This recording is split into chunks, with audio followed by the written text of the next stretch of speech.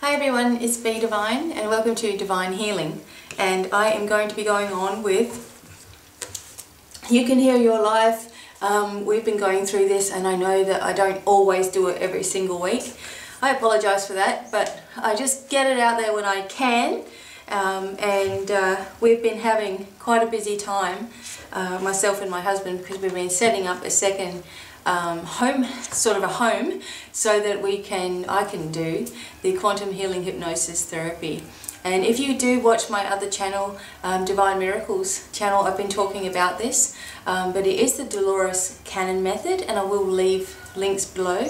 If you are in Australia or um, in Adelaide, you can come and see me and have a private session, and it is just the most wonderful healing experience you are ever going to have in your life generally most people, there is a cat call, calling me, most people um, will only ever need one session their entire life. And uh, after that they you know they're just completely healed. So um, if you would like to have something like that please just email me and I can send you all the information about it. I will leave the links below as well um, and it is just the most wonderful, it's just the most life-changing thing. As a therapist, I just can't um, tell you how wonderful it is to see the people. They have to go through all the different things and then at the end of it, they are just completely blown away with what has actually occurred. So if you're interested in something like that, it may be for you. Please let me know. If not, you can also just come for a workshop or a free um, a free meditation night and things like that I've been doing also. So um, without too much further ado, I am going to get started with our You Can Heal Your Life. Of course, this is teaching you how to heal yourself and uh, how to help others to also heal um, their, their lives. And this is the Louise Hay book. It's, it's been around for quite a while. I just wanted to read to you guys something uh, at the start before we um, get going. Uh, and as you know, we've been going through different ailments that can happen within our body and a mental sort of um, thought that has been keeping that ailment strong in our life. So it's been keeping it there. And we, when we change our mental thought, the body will respond to the way that we are mentally thinking. So that is what's been going on um, for the last few weeks. And my cat is going to, he'll find his way in. Are you coming in, little boy? Come on. Come on. Sorry, he's making an appointment. He might come up here. Come on. Puss, puss, puss. He's much, he's, talk, talk, talk. Come on. Hello. So we'll see if he stays in or he keeps meowing. So yes, um, that's what we've been doing. And I just wanted to read to you um, just a little bit um, of one part of this chapter here. And it is, in the infinity of life where I am, all is perfect, whole and complete. I am one with the power that created me. I am totally open and receptive to the abundant flow of prosperity that the universe offers. All my needs and desires are met before I even ask. I am divinely guided and protected, and I make choices that are beneficial for me. I rejoice in others' success, knowing there, will, there is plenty for all of us. I'm constantly increasing my conscious awareness of abundance, and this reflects in a constantly increasing income. My good comes from everywhere and everyone. All is well in my world. So most of the little, like towards the beginning of every chapter and sometimes at the end of every chapter, there's a little message like that, but she always closes it with, all is well in my world. So I did want to share that with you guys today. So, here we go. We've been on the O and P a little bit, and uh, there's some strange one. Okay, pneumonia. Pneumonia was the next one. Uh, desperate, tired of life, emotional wounds that are not allowed to heal. this is when you get pneumonia. And the different way that you can think about that is I freely take in divine ideas that are filled with the breath and the intelligence of life. This is a new moment. And a lot of people get, you know, chest complaints and, um, you know, really, really heavy chest uh, because they carry so much on their chest. You know, they just carry the weight of the world here. A lot of people do it on their back. Well, your you know your lungs are behind there as well, and uh, it just gets to a point where it is just completely clogged up with you know this toxic emotion. And one great thing to think of is this white light flushing out the black or the darkness. So when you are looking at your body, it is a very good way to like close your eyes and you're in a bit of meditation, pull yourself a bit away from the body and look at yourself. And then look at the different organs, look at your brain, you know, look at your head, go, move, your, move your way down into the different organs in the body and see which ones may be giving you trouble and what it may look like when it's giving you trouble. So to me, if something's not working right within the body, it, this area seems to be grey or black. So I imagine it filling with light and that dissolving, this black dissolving. And you know, you will find that if you do this on a regular basis, you will always be, you know, healthy. You will always be fine because you're getting to something before there's a major problem. Of course, you'll have to work on your mental, the way that you think about things. Um, but if you can get your mental attitude correct, then the, you know your physical health will be uh, will just follow through. So if you're suffering from pneumonia or, or some sort of flu like that, you, are just tired. You you know your emotional wounds are not allowed to heal. You've just been hurt so many times over and over and over again, and each time um, you get a little bit weaker in the chest area. So as as I said again, the way to, to counteract this is by saying, I freely take in divine ideas that are filled with the breath and the intelligence of life. This is a new moment. Okay, now let's go on. Oh, so I hope that was helpful to somebody. okay, premenstrual syndrome, PMS allowing confusion to reign, giving power to outside influences, rejection of the feminine processes. So, the way that we change this is by saying, I now take charge of my mind and my life. I am a powerful dynamite woman. Every part of my body functions perfectly. I love me. And it, you know, it's for especially, I don't know about guys, but especially for ladies, it is one of the most difficult things to be able to accept ourselves and be comfortable in our own skin. We have we have so much more sensitivities to emotions than the male population. Even though there are so many males that are very super sensitive, it's a different way of looking at things.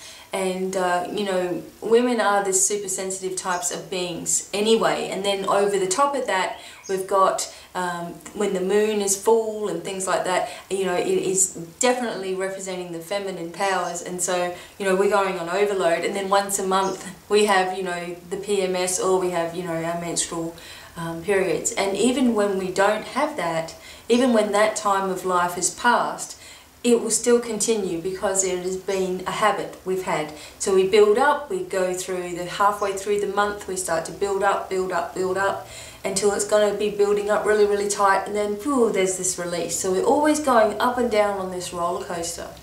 And, you know, even men as well, they can start to take on your sensitivities and, you know, when it's going to be that time of the month, they may start naturally being on edge because they're expecting you to be that way. But if you can change how you see this, you know, and take power back to yourself, and you know really say I don't have PMS it just doesn't work you know it just doesn't happen. You know my periods are, are painless. I don't have pain there anymore.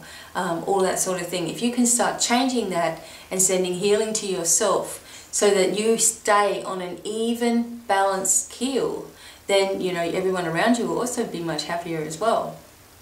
So loving every part of yourself is very important. It is if you don't love yourself enough you will block yourself from anything that you're trying to achieve physically inside of your body.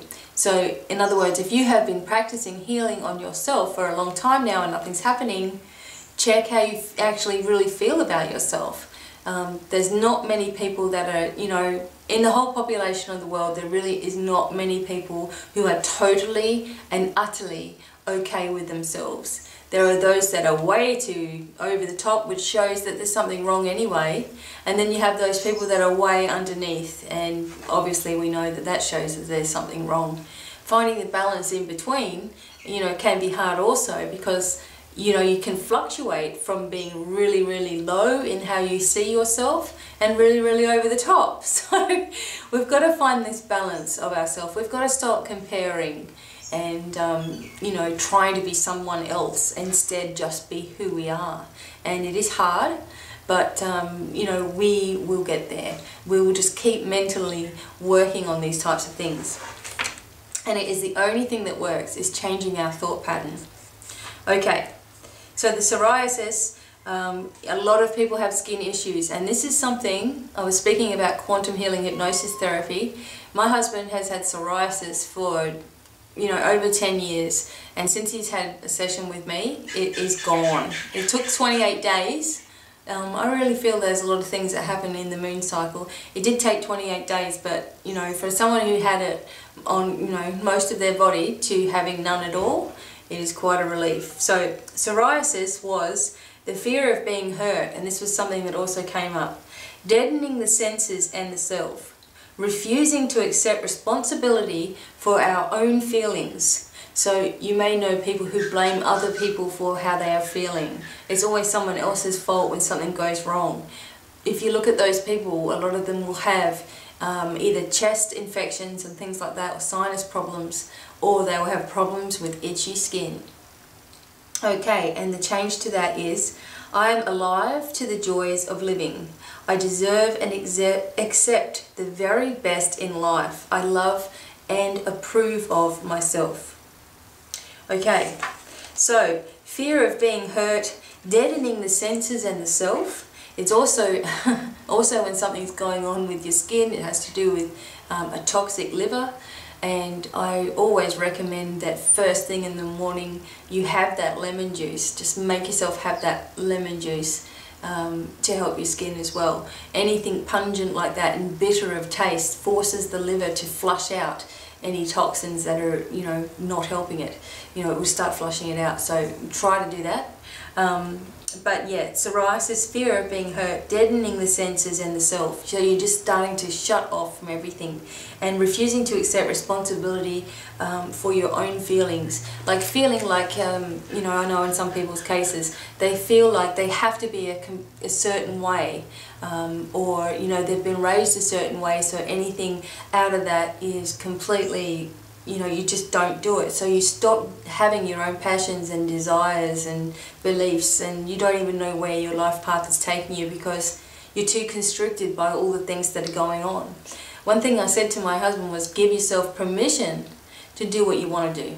So now give yourself permission to do what you want to do and you'll just feel this relief come over you. No one has the right to make you feel bad in any way. You know, make you feel like there's something wrong with you or make you feel like you're a failure.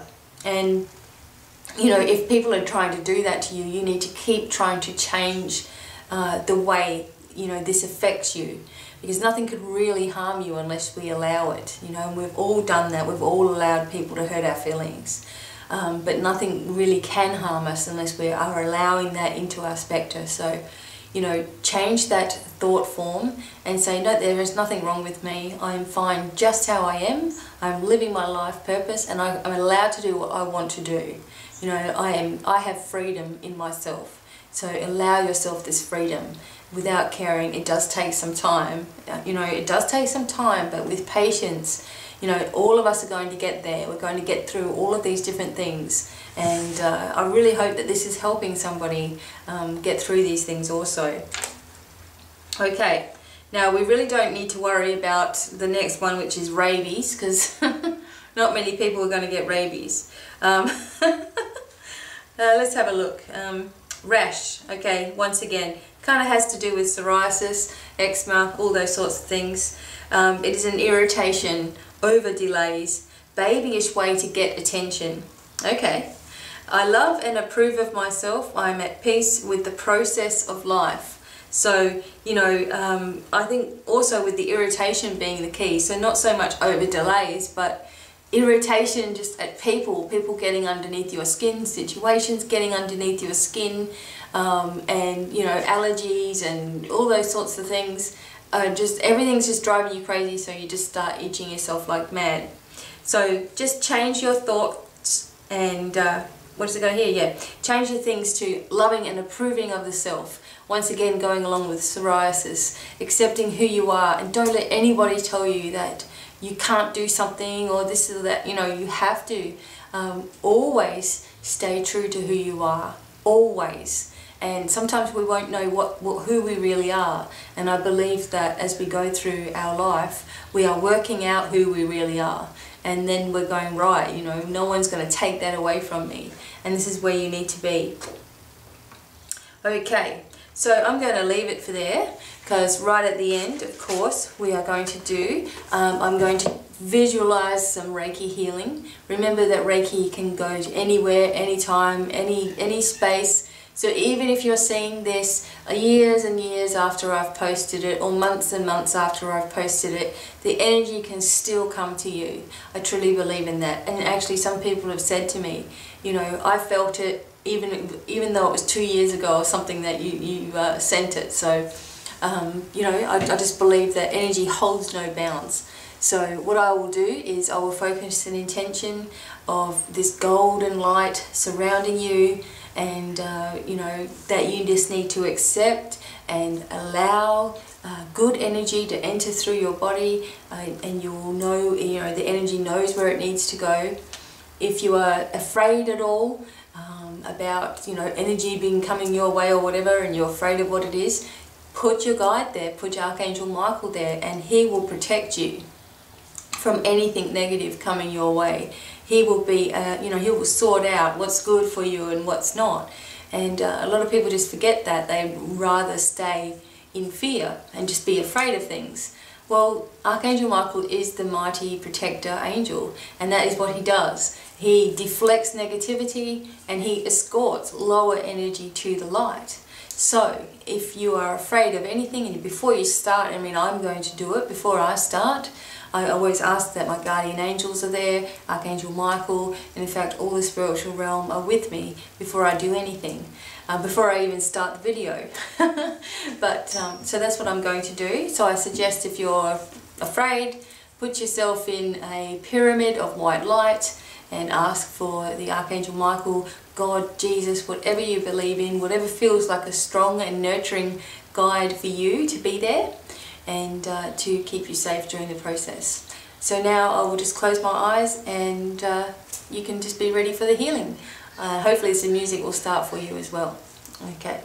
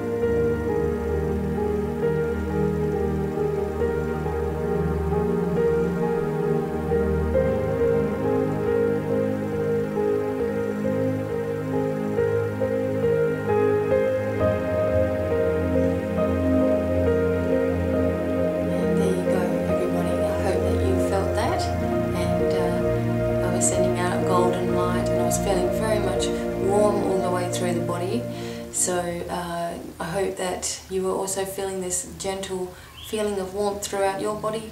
Um, that is generally what you will feel when there is a healing going on. In the deeper levels um, is, is, is beautiful warmth that goes through the body to heal. So thank you all for listening and uh, I hope that you will enjoy the coming up videos. I'm going to be doing another meditation very very soon on this channel um, uh, for healing the body and I might actually do the one that I was just talking about um, pulling yourself away from the body and visualizing the different organs and flushing them through with white light. Maybe something like that will be helpful to you guys. So, and until the next video, please leave comments about what you would like to see, what kind of meditations you would like. Um, I'm still doing more videos about crystals as well. Uh, you can ask me questions about crystals and what you would like to um, learn about. I'm going to get, I have a special little book and it's got different ailments in the body and uh, like skin conditions and things like that um, and the different crystals that will work with that. So I might do that book and go through that book with you as well. So, um, you know, you could be a little bit clearer on different crystals and what you can choose for yourself. Anyway, um, until the next video, thank you all for listening and I hope this has helped somebody out there. Many blessings to all of you. Bye for now. Bye.